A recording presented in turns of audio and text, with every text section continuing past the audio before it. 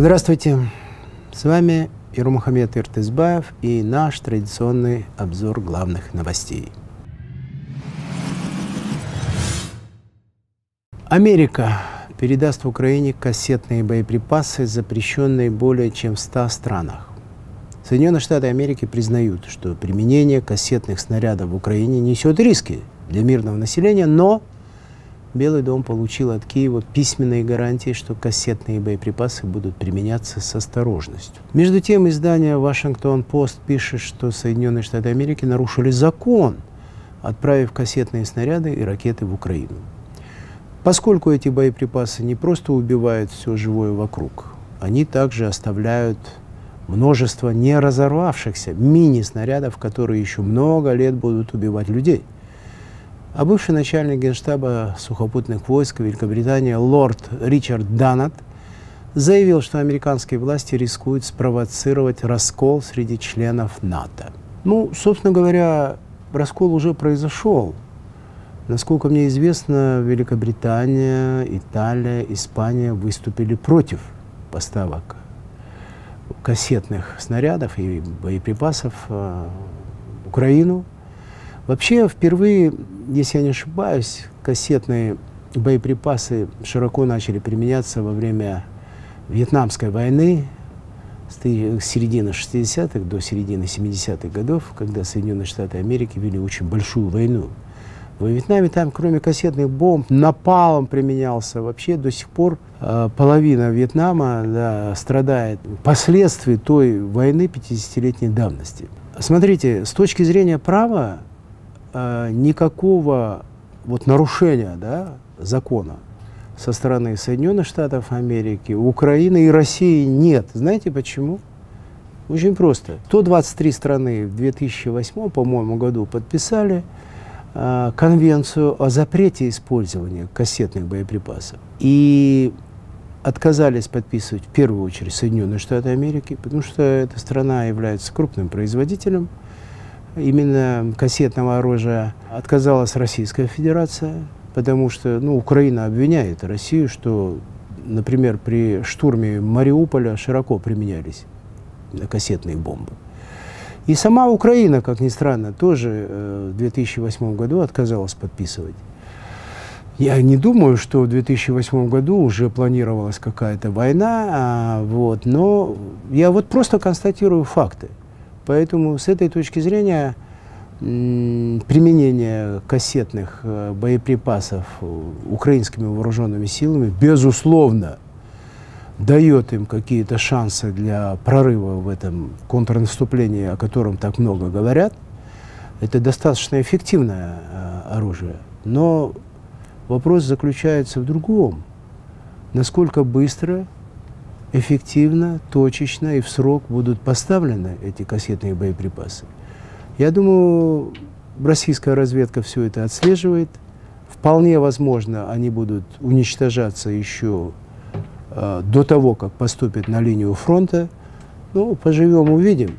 Во всяком случае, очевидно, что эскалация войны после поставок этих боеприпасов, она еще более усилится. Заместитель председателя Совета безопасности Российской Федерации Дмитрий Медведев заявил, что Россия имеет право ударить по украинским атомным электростанциям и ядерным объектам Восточной Европы. Такие выводы российский политик сделал после распространения информации о том, что ВСУ попытались атаковать Смоленскую АЭС. Тут уже нечего стесняться, заявил Медведев. Да, собственно говоря, здесь комментировать особенно нечего, потому что если удар ракетный придется по Смоленской атомной электростанции, Смоленску очень близко к Москве, то ответ последует незамедлительно со стороны Российской Федерации. И дело даже не в ядерной доктрине Российской Федерации, где четко прописано любое военное нападение на критическую инфраструктуру и вообще на Россию как таковую, да, дает право ракетной ядерной державе, которая является Российская Федерация, нанести ответный удар. Из Турции в Украину вернулись пять командиров батальона «Азов». Они уже заявили, что хотят пойти на фронт. Командиры из Азов стали пробыли в российском плену несколько месяцев. В сентябре 2022 года их обменяли на украинского политика Виктора Медведчука.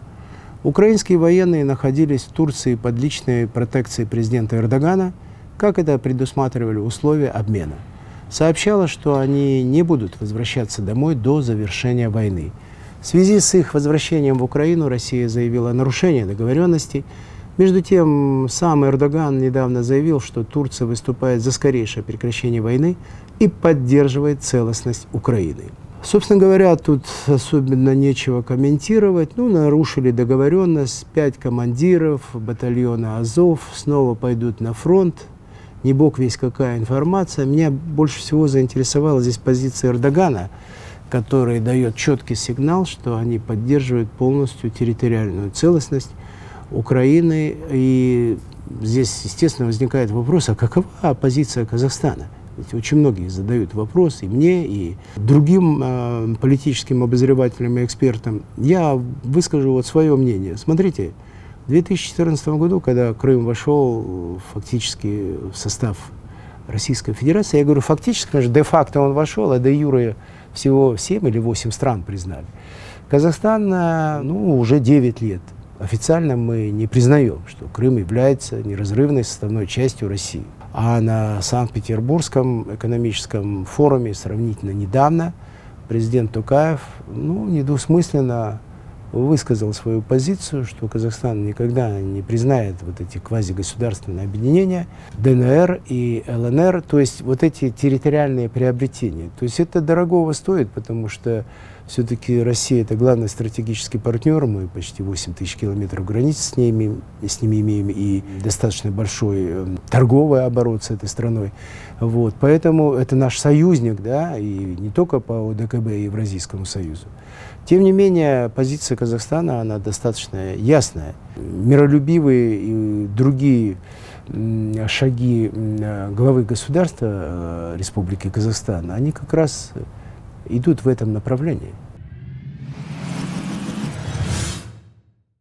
Турецкий президент попросил дать четкий и решительный сигнал о поддержке вступления Турции в Европейский Союз.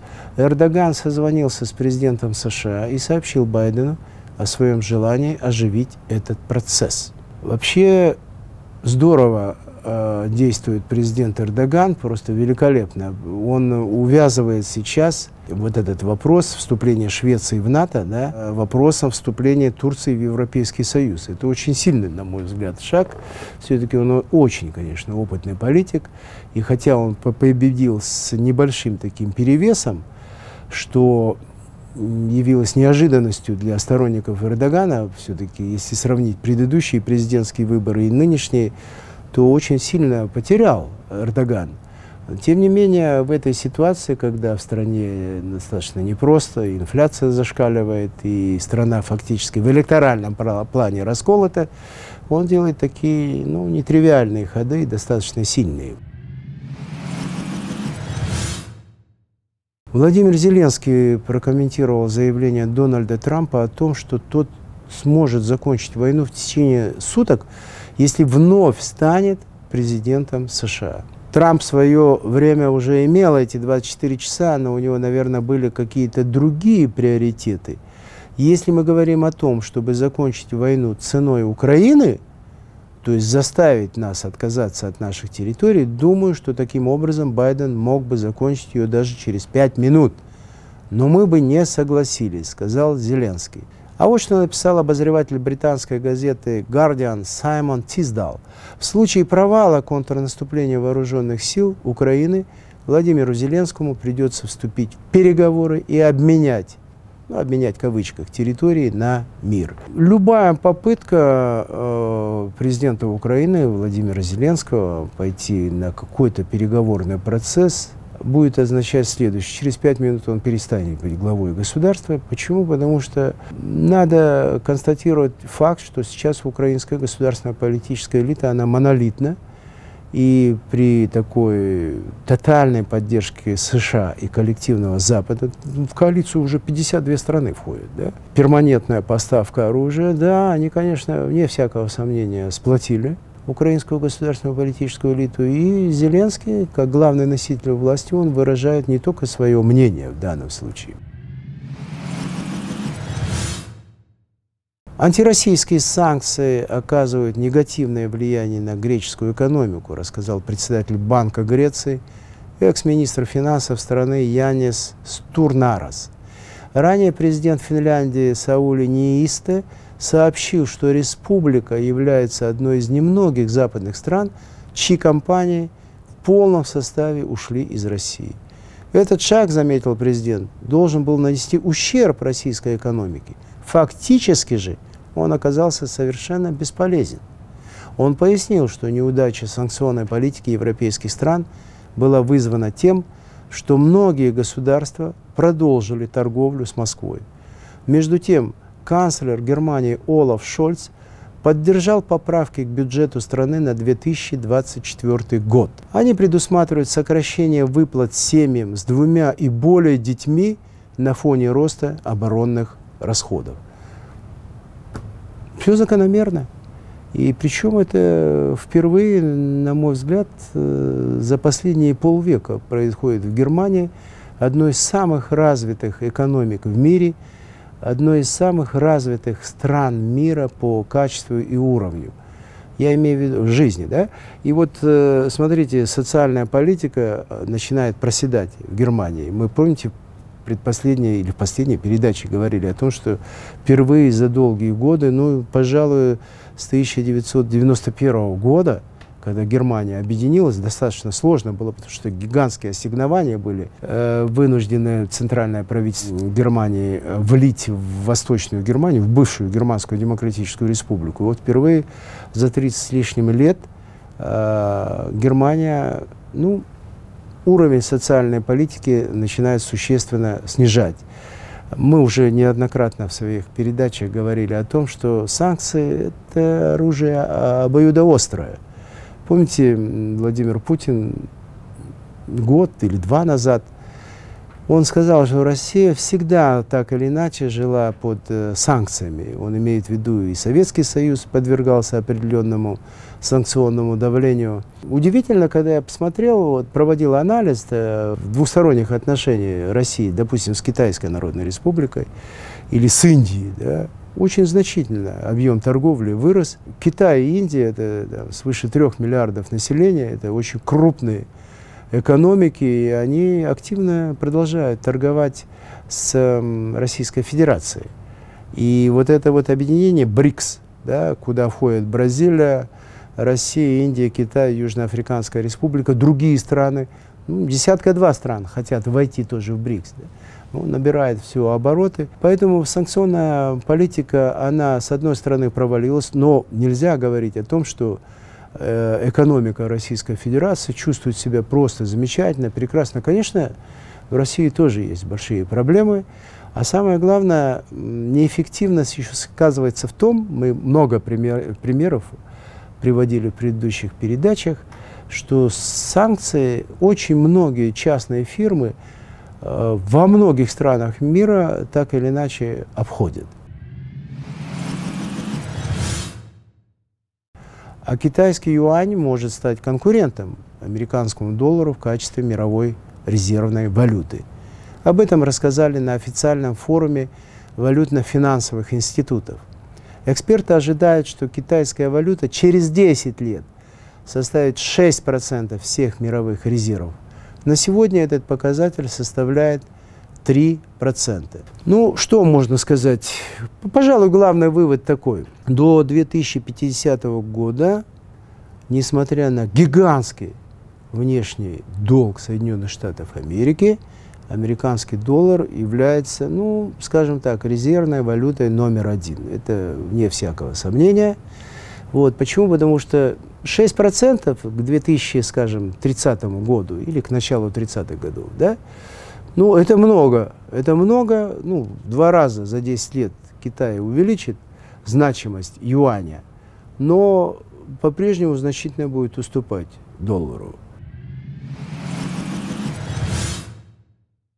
Пекин всерьез задумался, как ограничить американское влияние в Азии Он призвал Японию и Южную Корею развивать стратегическую автономию в отношениях с США и укреплять сотрудничество с Китаем для возрождения Азии. Об этом заявил глава дипломатического ведомства Компартии КНР Ван И. По словам дипломата, большинство американцев и европейцев не способны отличить Китай, Японию и Южную Корею. Сколько бы вы ни осветляли волосы, не переделывали носы, вы никогда не сможете стать европейцами или американцами. Мы должны знать, где наши корни, сказал глава внешнеполитического ведомства Поднебесной. Вообще удивительные рассуждения для дипломата, для руководителя э, внешнего политического ведомства Министерства иностранных дел Китая. Знаете, почему удивительные? Потому что нечто подобное говорили японцы э, в период Второй мировой войны. Если в Европе бушевала Вторая мировая война, и там через э, германских нацистов проталкивалась вот эта идея превосходства белой расы, на вершине которой стоят немцы, да, то и милитаристская Япония делала в своей пропаганде нечто подобное в азиатской части земного шара.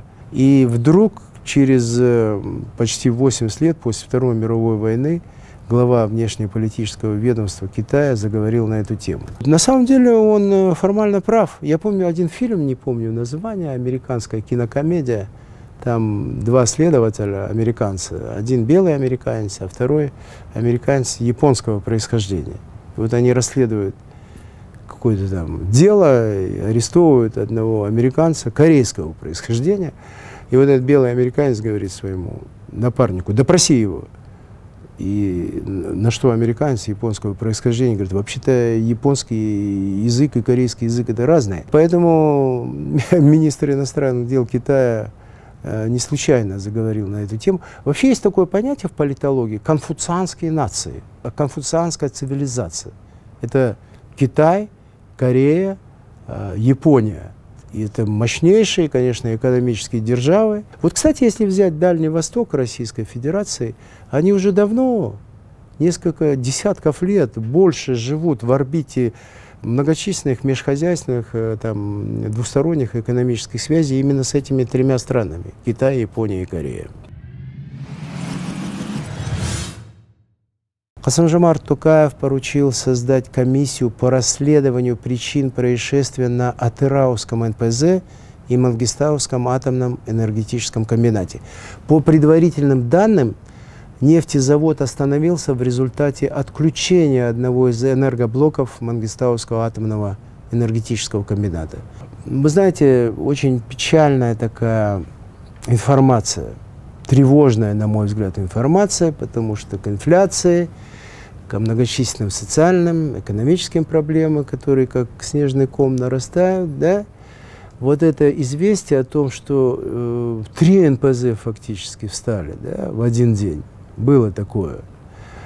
И вспомните наш последний новостной блог, где мы говорили о том, что отопительный сезон провален, особенно после печально известного совещания, на котором Алихан Смаилов, премьер-министр Республики Казахстан, фактически это признал. И если теперь осенью возникнет вот этот топливный еще кризис, вы представьте цифры, да, нам нужно 5 миллионов 800 тысяч тонн дизельного топлива. Причем 800 тысяч тонн дизельного топлива мы будем закупать в Российской Федерации. А если мы не закупим, мы не соберем урожай. Вы понимаете, да, какая складывается ситуация? Вот, поэтому я слышал такую информацию, что дали задание расследовать не какой-то межправительственной комиссии, там, экспертам, а спецслужбам. Задумайтесь на минутку. Надо провести серьезное, на самом деле, журналистское расследование на тему. Это намеренно делается. Это диверсия вообще против президента страны и против народа и государства. Или это результат головотяпства, некомпетентности – ну тогда надо менять людей в центре и на местах. Я имею в виду те, которые работают в государственном обороте и которые несут прямую функциональную ответственность за свою работу. Касымжамар Токаев дал год Женису Касымбеку, Акиму Астаны, на улучшение ситуации в Астане. Президент подчеркнул, что Астана должна в полной мере соответствовать статусу главного города страны. В этих целях необходимо срочно внести соответствующие поправки в закон о статусе столицы Республики Казахстан, заявил Касымжамар Токаев. Я хотел бы подробнее остановиться на этой теме и еще процитировать. Вот смотрите, глава государства да, сказал о том, что нужно принять действенные меры для формирования единого архитектурного облика столицы. Разработанный единый дизайн-код города на деле стал формальным документом. То есть глава государства констатирует факт. Важнейший документ, принятый когда-то, но он превратился в формальный. Строящиеся объекты не гармонируют друг с другом. Нет единого стиля, присутствует эклектика. Дорогие телезрители, вы помните, вы все это в открытом доступе, вы можете найти. Мы неоднократно поднимали эти вопросы. Я лично ходил на митинги, выступал против многочисленных этих а, незаконных точечных застроек. Есть э, факты и достаточно много, когда без всяких разрешительных документов, там вот за Талдыколем целый громадный коттеджный поселок построен. Очень много зданий были построены в нарушении даже вот санитарных норм, когда лепят вот эти здания, вот эти коробки невыразительные, прям рядом. Есть факты, когда должна была строиться там детская спортивная школа или э, детские сады, и нет, опять идут застройки, жилье, жилье, жилье, причем часто некачественное. И с этой точки зрения критики достаточно много. Вот год работы, как вы считаете, этого достаточно Акиму, чтобы исправить? На мой взгляд, на мой взгляд, нет. Знаете почему? Потому что э, Женису Касымбеку придется исправлять очень много э, из того, что сделали предыдущие 11 Акимов нашей столицы.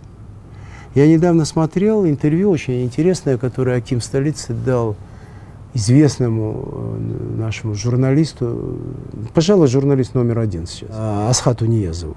Очень интересное интервью. И там, когда журналист задает вопросы Акиму, вот эти здания, эти, и прям вот конкретно показывает, что они ну, на самом деле портят облик города, ответ был один, что все, квартиры куплены, деньги заплачены, и все. Но мы же знаем факты. В той же а, Алмате, где, несмотря на то, что здания построены просто волевым решением, сносятся эти здания. Все незаконные, без разрешительных документов надо снести. Один раз сделать, второй раз. И никогда уже э, нечестивые там, предприниматели, особенно из строительных компаний, не будут этим заниматься. Еще хотел бы процитировать главу государства. Вы посмотрите, как застраивается аллея Манжелдык которая по замыслу должна была стать одной из визитных карточек столицы.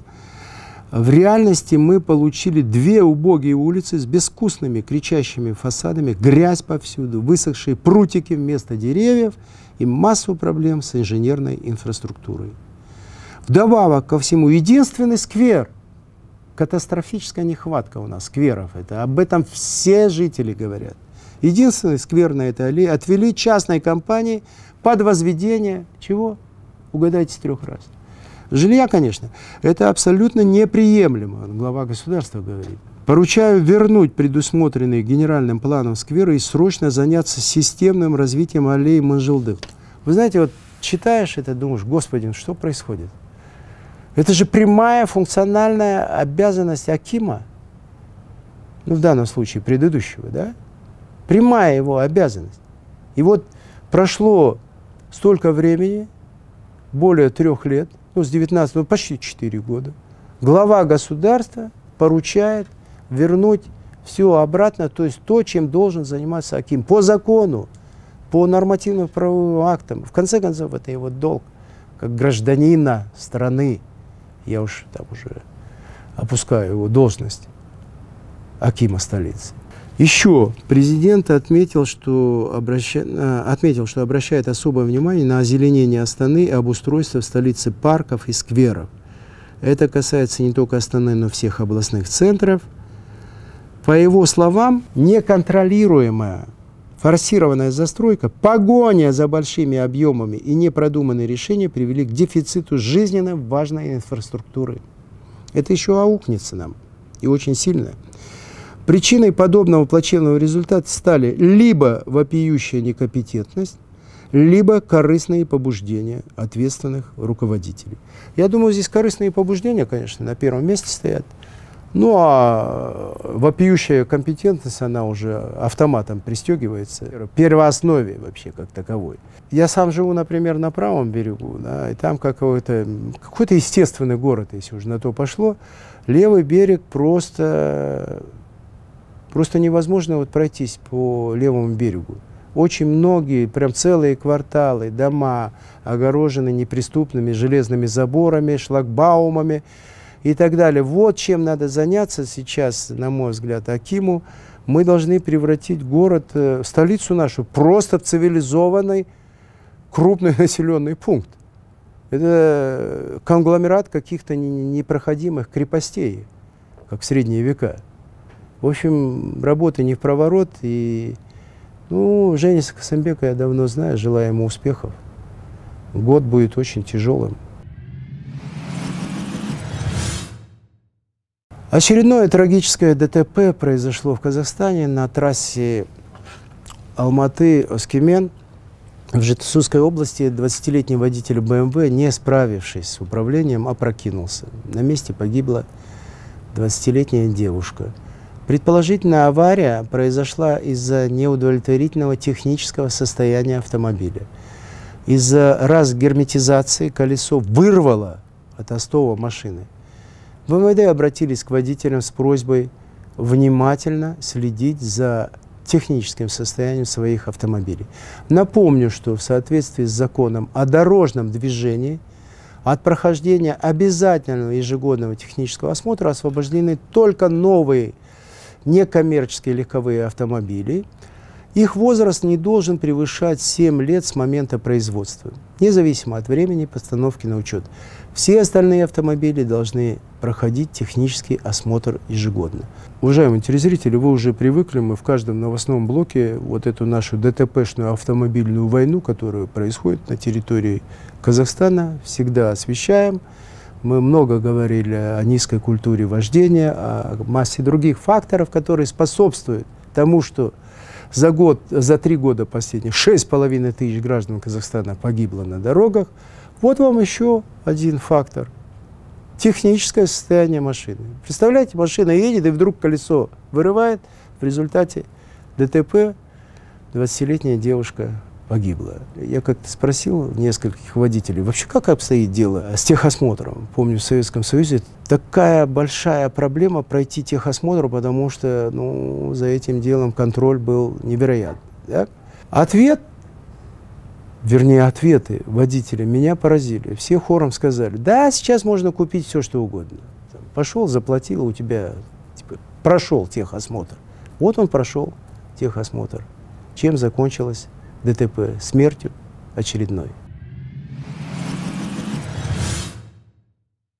На деньги, изъятые у коррупционеров, в этом году в Казахстане откроют более 60 школ. В начале сентября президент Казахстана, выступая с посланием к народу страны, заявил, что отсуженные у коррупционеров средства должны тратиться на строительство новых учреждений образования. Все это, конечно, через призму справедливости как таковой. Правильно все делается. Тем более глава государства в послании своем обозначил, как и каким образом будут расходоваться средства, которые изъяли у коррупционеров. Тем не менее возникает вопрос. У нас есть Конституция, основной закон. Всеобщее среднее образование – это вообще обязанность государства. И все школы, а, государственные детские сады, они должны финансироваться, субсидироваться. Откуда? Да, из государственного бюджета. Поэтому надо, на мой взгляд, еще рассмотреть вопрос, чтобы деньги коррупционеров, они шли сразу прямым назначением на поддержку многодетных матерей. У нас их почти 500 тысяч в стране. У нас есть э, миллион бедных детей. Это официально, вы понимаете? Есть э, сотни тысяч безработных. Надо, может быть, увеличить пособие по безработице. Одним словом, здесь есть над чем подумать. Блогер из Астаны Глеб Пономарев устроил социальный эксперимент, чтобы выяснить, можно ли прожить на минимальную зарплату в 70 тысяч тенге. Через неделю после начала эксперимента он заявил, что это не жизнь, а выживание. Плюсами эксперимента блогер назвал отказ от фастфуда и алкоголя. Очень интересный эксперимент сделал Глеб Пономарев, блогер. Вы знаете, я приглашаю его в студию Иртызбаев Лайв – порассуждать на эту тему. Вот, то, что он отказался от фастфуда и алкоголя, это, конечно, здорово, это очень хороший шаг. В общем, приглашаю. Заодно обсудим книгу Поля Брега «Чудо голодания». На этом у нас все. Спасибо, что были с нами и до новых встреч. thank you